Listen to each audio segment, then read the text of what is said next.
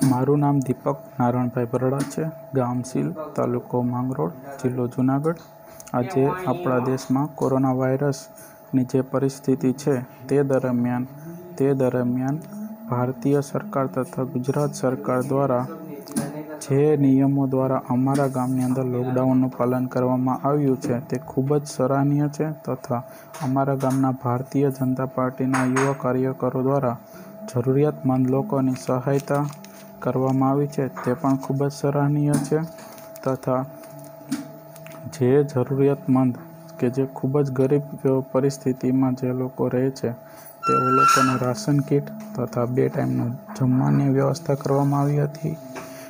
કરવામાં આવી હતી. આ પુણ્યના કાર્યમાં અમારા ગામના ભારતીય જનતા પાર્ટીના યુવા કાર્યકરો દ્વારા જે જેવા કે રામજીભાઈ ચુડાસમા જયેશભાઈ ચુડાસમા પિયુષભાઈ કામળિયા દ્વારા ખૂબ જ સરસ અને વ્યવસ્થિત રીતે બધા જ જરૂરિયાતમંદ લોકોને સેવા કરી કરી છે તેથી હું ભારતીય જનતા પાર્ટી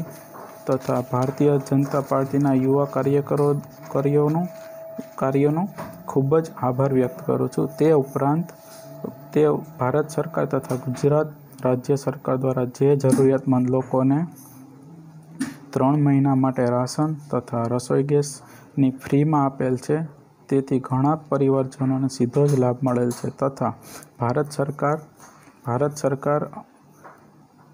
દ્વારા જરૂરિયાતમંદ લોકોને આર્થિક રીતે મદદ કરવા માટે એક હજાર રૂપિયા સીધા જ તેમના ખાતામાં ટ્રાન્સફર કરી છે તેથી આર્થિક રીતે પણ ખૂબ જ સારી રીતે મદદ કરવામાં આવી છે આથી હું આપણા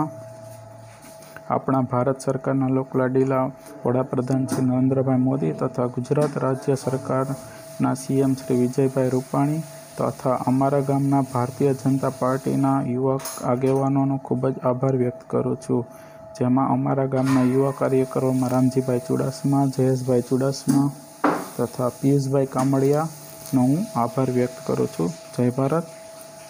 વંદે માતરમ જય જય ગરવી ગુજરાત